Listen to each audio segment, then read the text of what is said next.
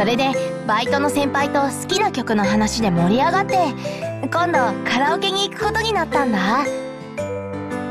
え？いいな私たちも行こうよ。賛成。いつにする？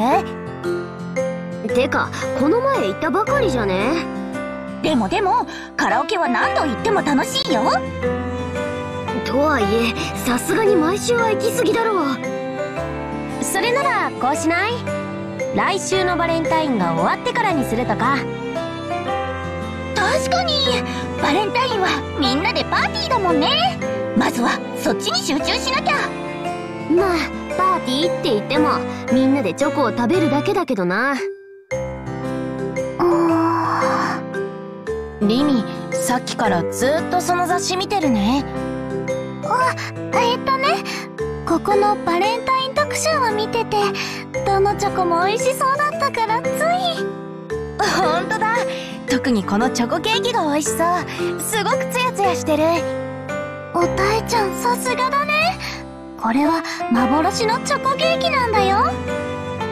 幻のチョコケーキ？バレンタインにしか発売されない数量限定のケーキでめ厚なのにすごく上品な甘さでやみつきになっちゃうんだって。毎年全国から予約が殺到してて始まって数分で売り切れちゃうんだ。すげえな。そんなに人気なのか？はあどんなのかすごく気になる。私も何回かチャレンジしてきたんだけど全然予約が取れなくて。今年は取れたんだ。ほんと予約がいつ始まってもいいように毎日パソコンの前で待ってた甲斐があったよ。バレンタインパーティーに持っていくからみんなで食べようね。うん楽しみ。ねねみんなはどんなチョコにするの？私は手作りチョコにしようと思ってるんだ。かすみが手作りチョコ？ま、マジか。大丈夫なのかよ。大丈夫。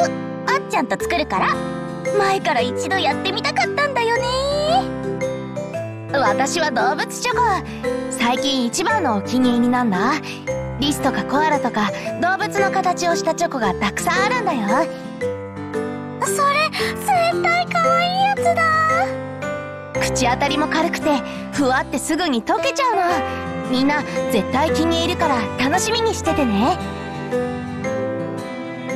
私はやっぱりチョココロネかな。でも今回は一工夫加えるつもり。一工夫？何何？それは当日まで内緒。私はまあ適当になんか用意するよ。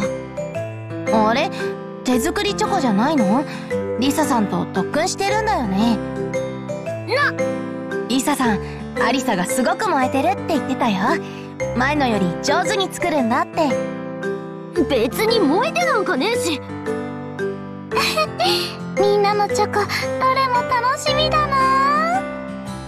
は あなんだかチョコの話してたらお腹空いてきちゃったよ。それじゃあおやつタイムにしよっかほい。チョココロネリミリもどうぞ。さやちゃんありがとう。でも今日はやめとくね。どどうしたんだ？熱か熱でもあるのか？顔色は悪くないみたいだね。二人とも落ち着いて。バレンタインまでお菓子を我慢しようと思っただけだから我慢なんで？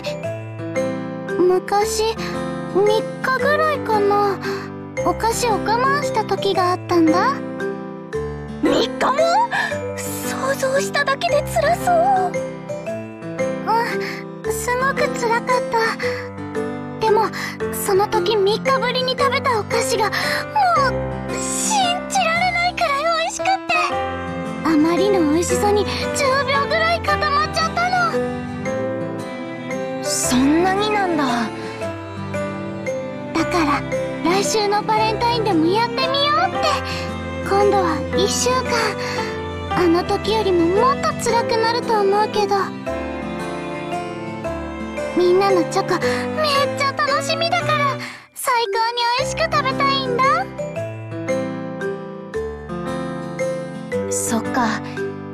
じゃあ私もやる。とサーヤもやるんでしょ？えいやそこまでしなくてもよくないか。どのくらい美味しさが変わるのかちょっと想像できないかな。へえみんなでやろうよ。みんなで最高のチョコ食べたい。つうか普通に食べても十分うまいと思うぞ。あでもバレンタインパーティーって人たくさんチョコ食べるよね。